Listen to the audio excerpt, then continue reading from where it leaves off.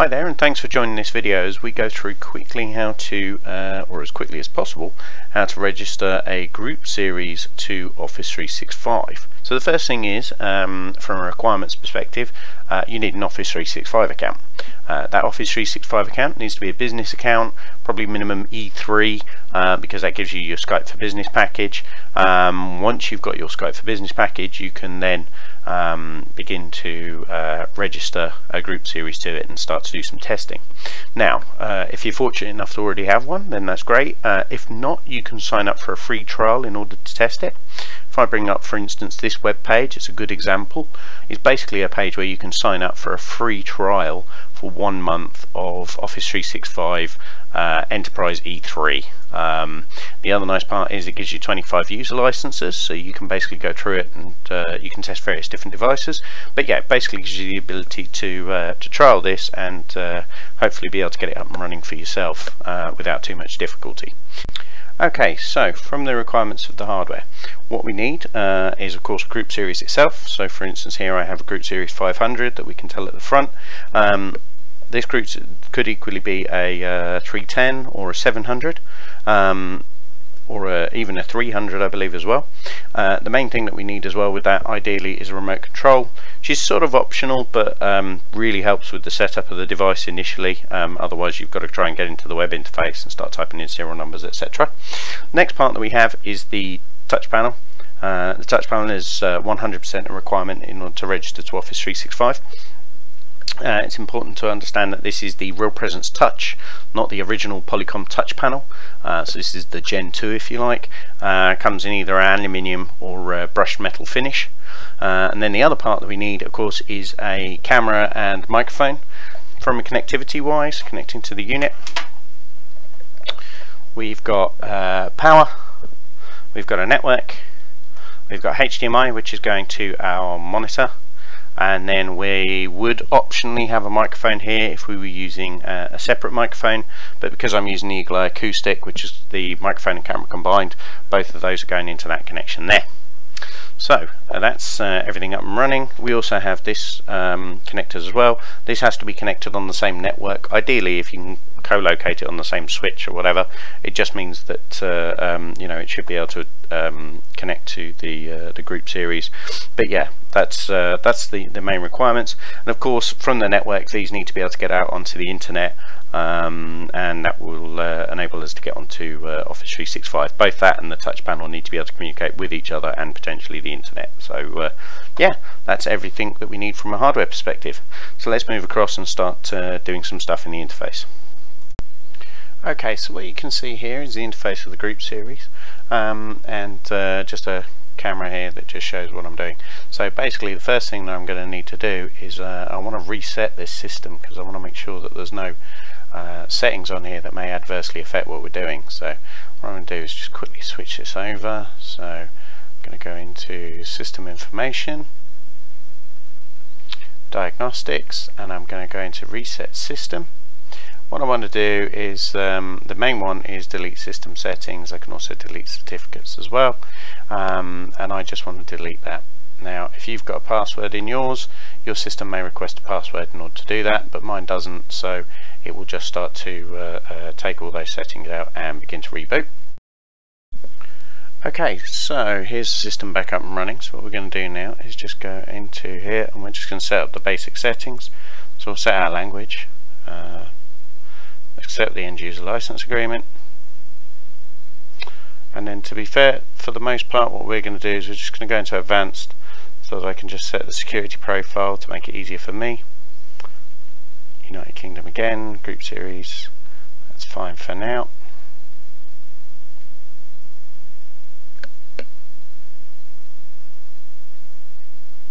We can leave all of that as is. Now under security, to make my life easier to begin with, what I'm going to do is just wipe out that password if actually want anything in there for the moment and that means that whenever I go through the network prompts it's not going to ask me for anything. I'll add that back in later on just to make sure that we are uh, we are secure. But for the purpose of setting up in this demonstration we can remove that for now. Uh, we won't bother registering. And finish. Okay.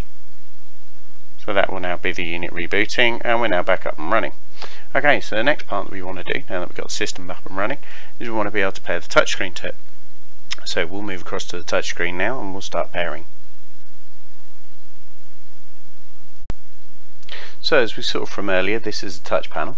And what we're going to do with the touch panel now is we're just going to pair it to that, uh, that group series. So we're going to go into manually pair, in my case, and now we're going to type in the IP address of that unit.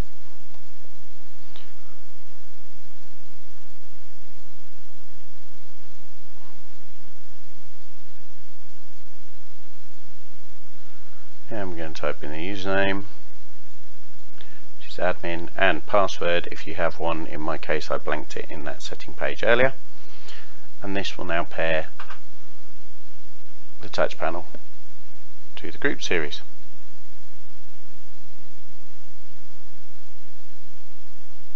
And there we go. That is now paired. Excuse the focus there on the camera. Right so now we'll go back to the desktop and we'll go through some of the configuration settings that we need to do. So we now need to go into the web interface of the unit itself.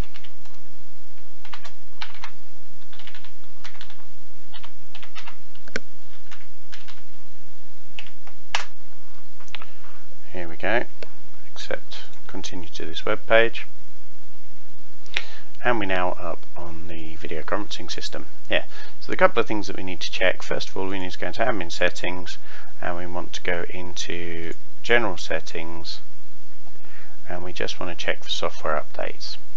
When we check for a software update, we just need to see if there's a new version.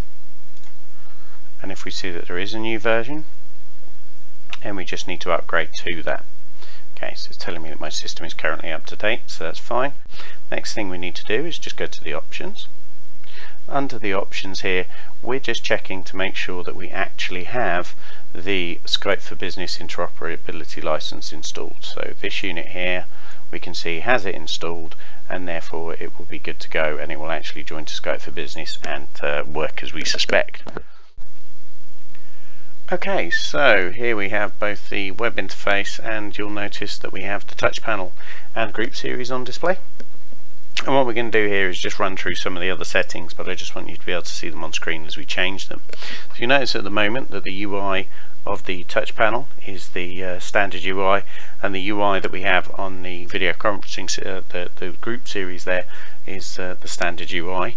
But what we actually need to do first of all is we're going to go into admin settings general settings, home screen settings, and we're going to enable Skype mode which is at the bottom here. So we just open up Skype mode, click enable and hit save. What you're going to see is that the touch panel display will change and so will the uh, video conferencing system itself. So now we have uh, the Skype for Business uh, interface. Next thing we're going to do is go through and actually start registering the system. So once again into admin settings, and then we're going to go into network IP network and then we're going to go into SIP. We'll later disable HTTP uh, and we're going to go into here. Enable SIP it's not enabled already. And then we're going to just enter in SIP configure server configuration is auto. Under the sign-in address that we have here we're going to put in our video conferencing system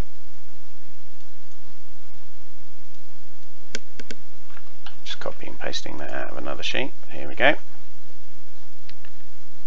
And then the username, which will be the same. You'll notice that these are the long versions, very similar to SIP URI. Uh, and then we also need to put in the password as well. So we enable the password, put that in there. And then the registrar server type we put to Microsoft. And now we're going to hit save. Now, not, um, not specified, it's going to go to registration failed. Hopefully what we should see after a while is that it now goes to registered. So we can now see at the top here, we are now registered. Next part that we are going to want to do is we're going to want to enable the calendaring capabilities. So in order to enable the calendaring capabilities, we're going to go down to servers, just under here. We're going to go to the calendaring service.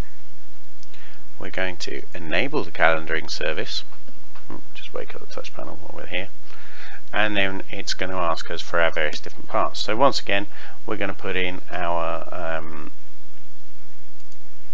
address at the top, our email address. We're not worried about the domain in Office 365 so much. Then under the user, we're going to put the same. The domain would be rwlab setup on Microsoft.com, but we don't need that. And then I'm going to put in my password. If we do auto discover, your email address, it should hopefully populate with outlook.office365.com, which is what we're seeing there. And then the important bit to understand under here, um, you have the option for how quickly the meeting reminder will come up. Uh, another option for um, reminder tones when it's not in a call. So if you wanted to, you know, actually tell people um, when that reminder comes up with a, an audible tone, then that can be useful. And then we also have the show meeting information for private meetings. This, if it's a personal system, you can check this and it will actually come up with the information on screen. If not, any private meetings as you set them in Outlook will, know, uh, will not appear. So now we're going to save this. And as soon as we save it, we should hopefully see this go to registered and we're now seeing at the top of the group series and at the top of the touch panel that we're seeing a, a, a calendar appear. Okay, and uh, while we're doing that, we can now see registered on the unit. The next thing we want to look at is adding directory services to the system for the ability to be able to search for users. So the way we're going to do this, we're going to go into admin settings, expand that just here. Then we want to go into servers, directory servers.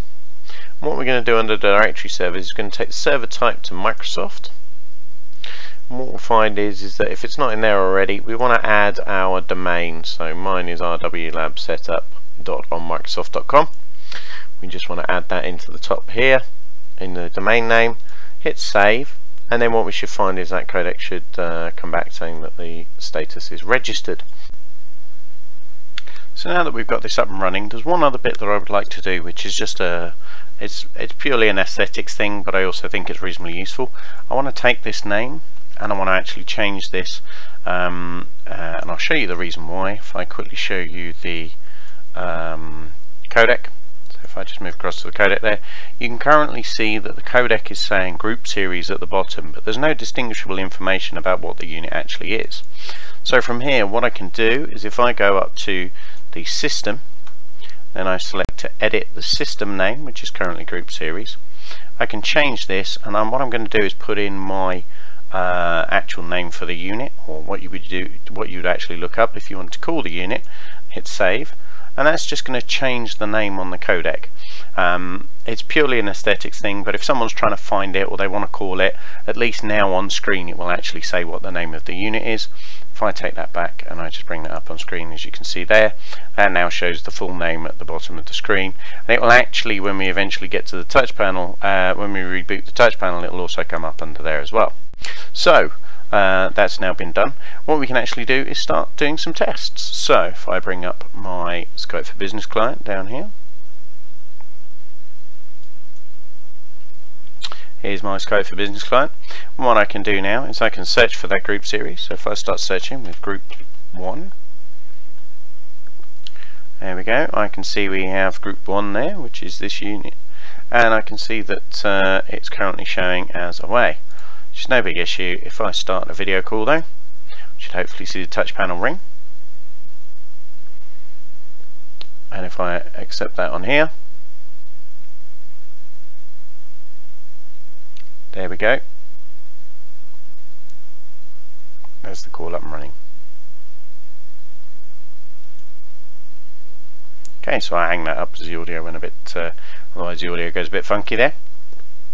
Right, so the next part is, uh, now we know that that's working, let's check the scheduling as well. So if we quickly go and open Outlook,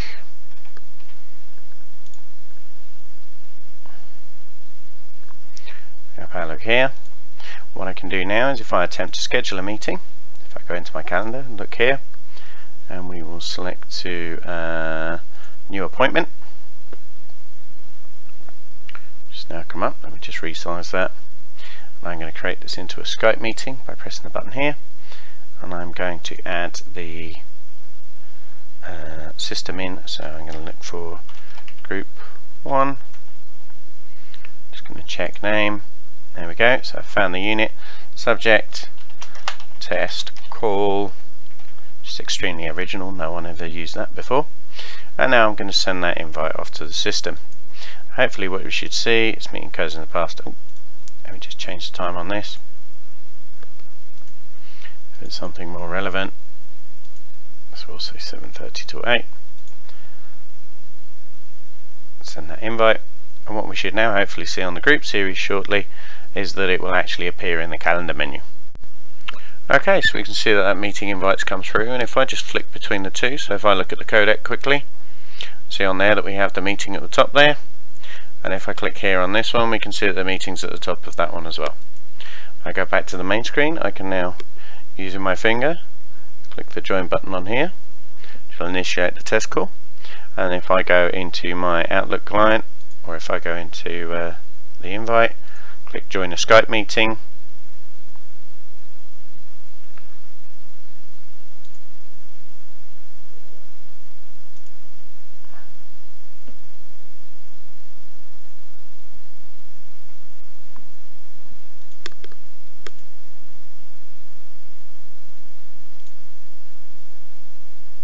start my video.